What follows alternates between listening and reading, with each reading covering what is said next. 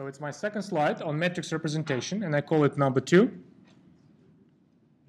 So this is a slide which will be given in the, in the context of the general couple of vector spaces. So imagine I have quadruple v plus dot nf for one vector space and quadruple w plus dot f for the other vector space. So imagine we have two vector spaces. In order to present the matrix representation theorem, I will need to fix two bases, one of them in, in the space V and one of them in the second one in the space W. Here they are. I'll use these notations. V1, V2, Vn will be the set of vectors, which is the basis in V. And C, uh, sorry, W1, W2, Wm will be the basis in W. So dimension of V is assumed to be n for Nicholas, and dimension of W is assumed to be m for Mary. And now I have a linear map between these two. For this linear map, there will be a version of matrix representation theorem, even though, even though my V and W, they have nothing to do with n tuples or m tuples of scalars, you still can reproduce a matrix representation theorem for this setting, and that's what you do for that.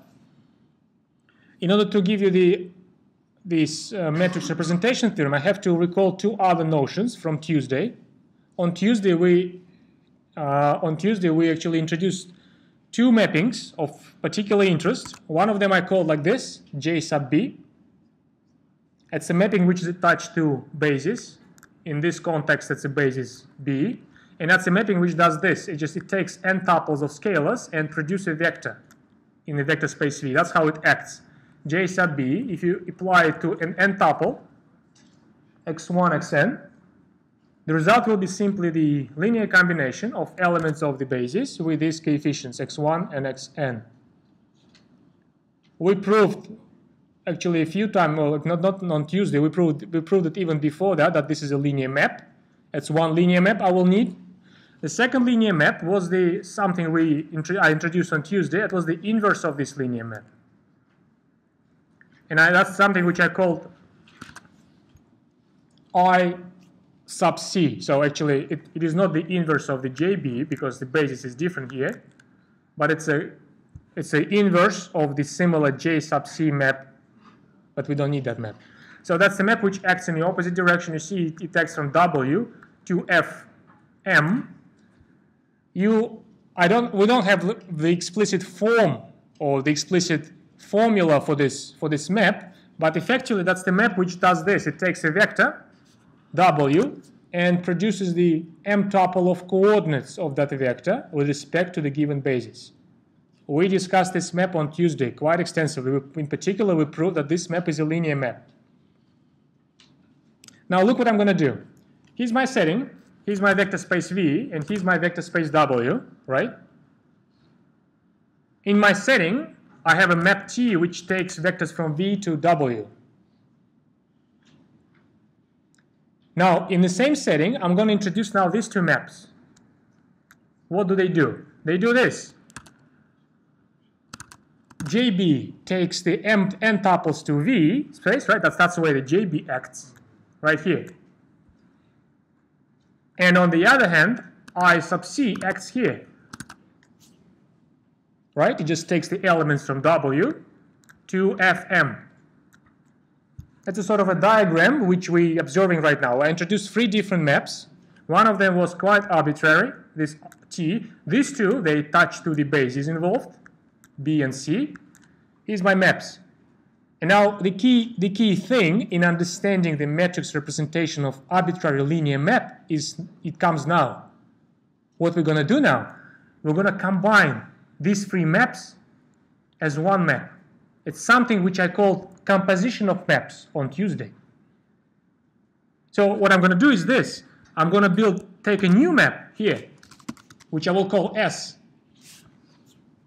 which will act directly from here to here via this detour.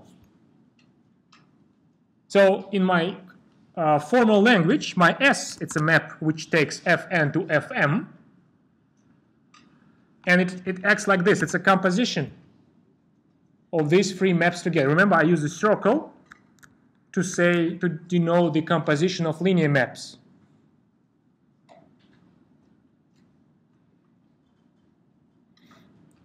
Now, what I'm about to say is this. Well, actually, I can give you the very expressed version how the S acts. Just to, I mean, the, the way we expand composition, we do this. We apply IC, well, we have an expression like this. So X from this Fn is first taken by JB here, then taken by T into W, and then taken by IC to Fn. That's how, that's how my that's how my S works. Now, first thing I want to say about this S is that S is a linear map. It's a very easy consequence of our discussions on Tuesday because we know that each individual component here is a linear map. The i and j components, that's something we proved. The middle component just because we assume that. And we also proved with you on Tuesday that when you compose linear maps, the result will be a linear map. So my S is a linear map. That's the first observation I'd like to make. The second observation I'd like to make is that this new linear map S, it now acts between very familiar couple of vector spaces. It's no longer some arbitrary V and some arbitrary W. It's just very particular n tuples and m tuples. For such maps, we just had another matrix representation theorem, the one which I just showed at the beginning of the lecture. Every such map, every map which acts between these two, it's a matrix multiplication map.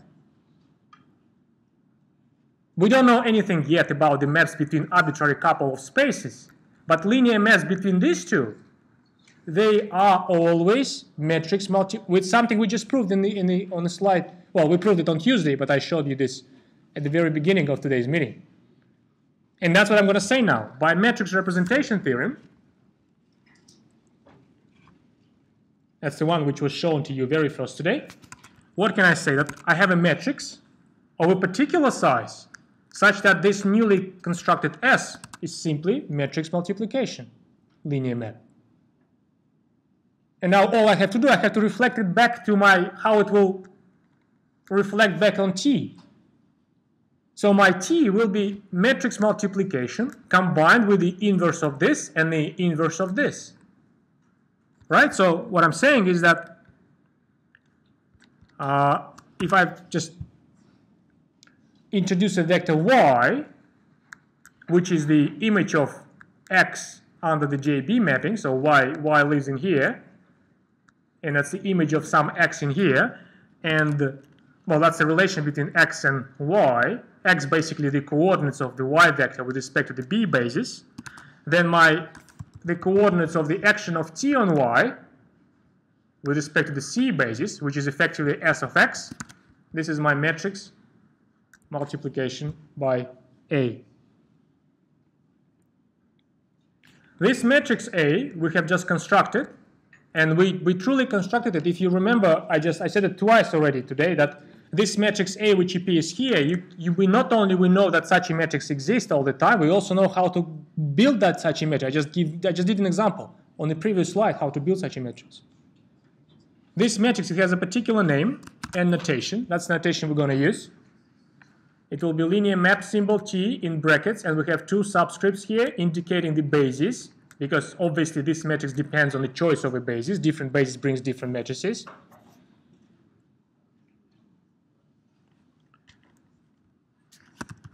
And that's the one which we're going to call matrix of T with respect to basis B in the domain and basis C in the codomain. Here's a symbol for such a matrix. That's the name. For such a matrix, there will be, well, that's just a piece of terminology. Okay, if you don't have any questions, uh, I want to just take uh, the second part of the theorem, of the theorem I showed you first today, that not only that the matrix exists, but we know how to build such a matrix. I want to see how this reflects back on T. Back on T, if you want to see how to construct this matrix for arbitrary T, you have to do something like this. I have to bring this up a little bit. By the same matrix representation theorem, MRT, your A matrix, by the MRT, by the example, and by the example I just did, this A matrix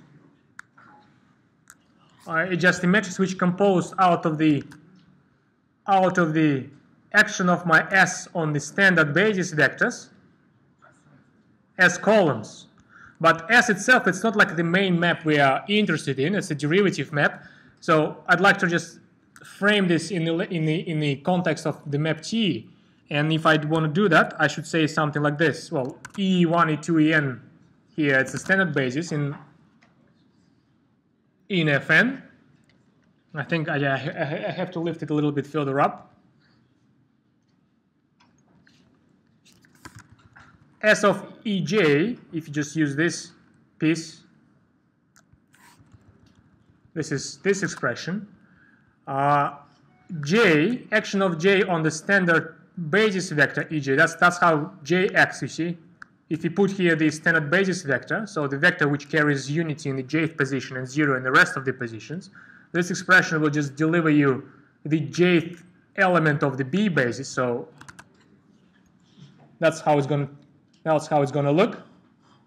And so what I'm saying is that the jth column of the matrix we're going to look for, it's simply the coordinates of the action of t on the jth element of the basis in the domain with respect to the basis in the codomain.